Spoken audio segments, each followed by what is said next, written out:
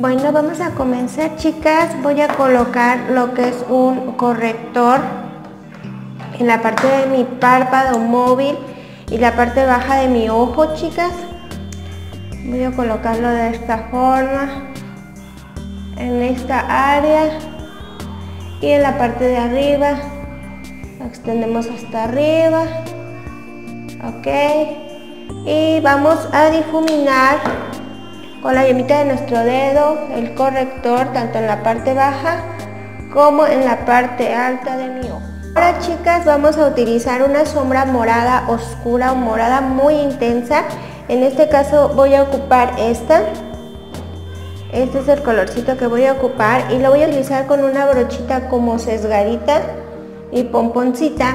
Y voy a colorear lo que es la parte del contorno de mi párpado móvil chicas. De esta manera lo vamos a ir haciendo. Vamos a ir poniendo aquí un poquito. La vamos a ir subiendo a la cuenca de esta manera. La llevamos hasta la parte inicial del ojo, justo cerca de nuestro lagrimal. Subimos.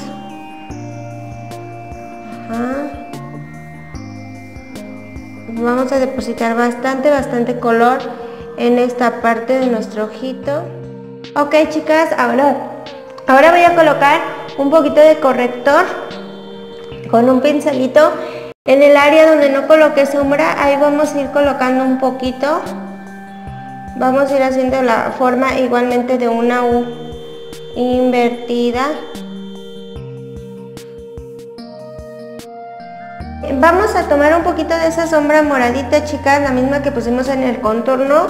Vamos a, a darle un poquito de color aquí.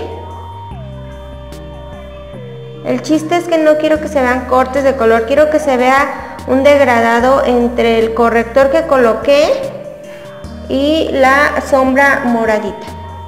¿Ok? Pues ahora voy a colocar un poquito de una sombra. Esta es como lilita pero es metalizada. Y la voy a colocar aquí donde dejé el corrector. Ajá, la voy a colocar a manera de golpecitos para concentrar muy bien el color. Ok chicas, ahora voy a ocupar un poquito de una sombra como blanquita, perladita. Voy a ocupar este color. Voy a tomarlo un poco con mi dedo. Y a manera de golpecito chicas, voy a colocar un, poco en la parte donde coloqué el lilita metalizado. De esta forma. Para darle un poquito de brillo, de más brillito ahí. A esta parte de mi párpado aquí está ahora voy a colocar chicas un poquito de corrector en lo que es la parte baja de mi ojito en esta parte de aquí y la voy a difuminar con la yemita de mi dedo.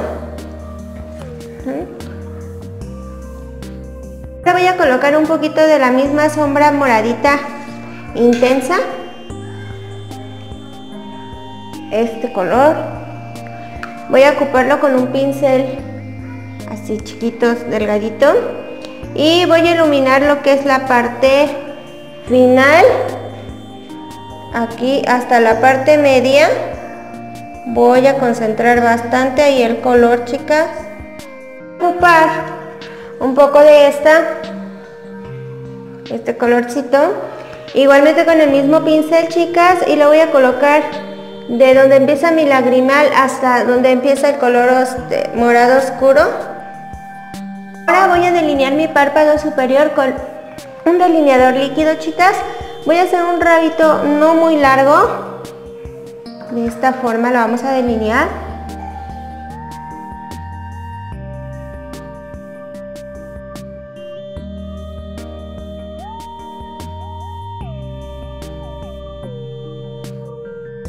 colocar mi máscara de pestañas, chicas, voy a ocupar esta.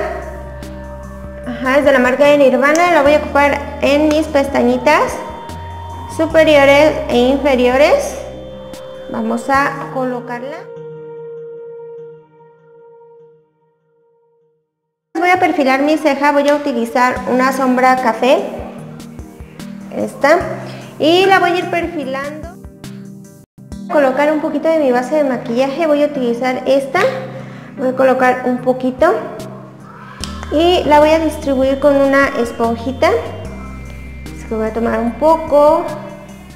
Y la voy a ir colocando en mi rostro.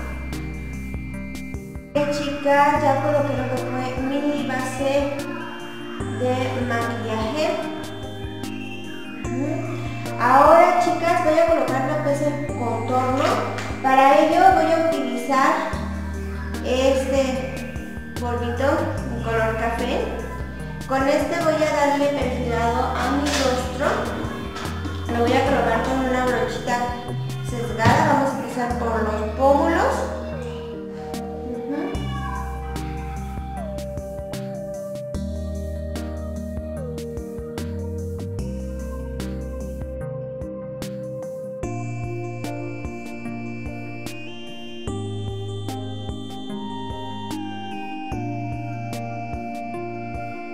un poquito de este, es como un color cremita, en las áreas donde vamos a, dar luz, chicas.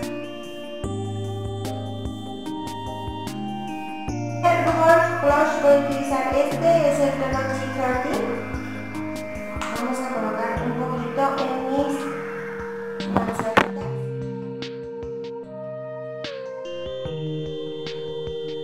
Voy a utilizar estos iluminadores, iluminadores de voy a ocupar este Voy a colocarle las áreas para colocar luz,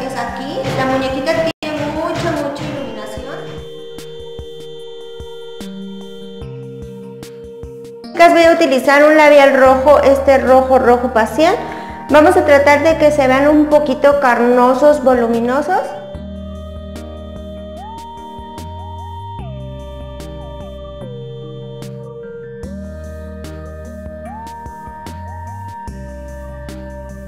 Chicas, en la parte de en medio voy a colocar un poquito de sombra. Voy a ocupar esta que es como beige.